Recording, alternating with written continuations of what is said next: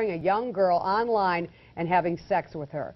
As 12 News' Mike Anderson reports, they want you to take a good look at his picture because there may be more victims.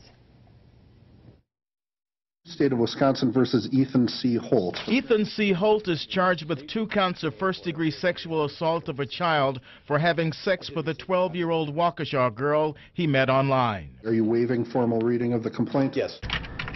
According to his Facebook page, the 24-year-old is an Army vet and Muskego native.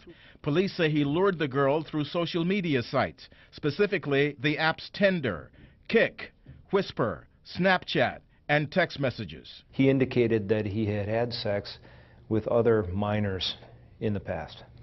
And where do you suspect, are they like here, Waukesha or in the area? Or? We think anywhere in Waukesha or maybe even the Milwaukee area. Police say the victim knew Holt by the name of Dean.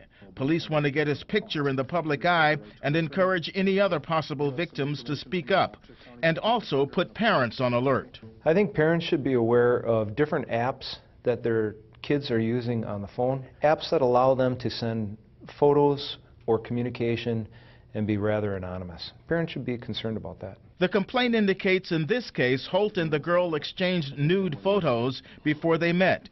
Her parents noticed she had started acting strangely and she eventually told them what was going on.